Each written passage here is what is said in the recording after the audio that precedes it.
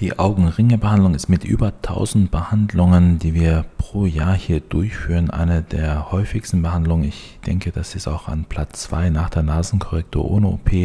Wir sehen hier die Behandlung im einzelnen Ablauf. Das heißt, die Hyaluronsäure wird einer ganz feinen Schicht unter die Haut gebracht in einer gewissen Menge und Dosierung, so dass am Ende eine ganz zarte Linie da wieder zu sehen ist und dann nach zehn Tagen wird das Ergebnis perfekt werden und ich denke, die Patientin wird hier glücklich mit dem Ergebnis und sie sieht das auch gleich im Anschluss und äh, kann dann, denke ich, hier erfolgreich mit einer Behandlung abgeschlossen nach Hause gehen.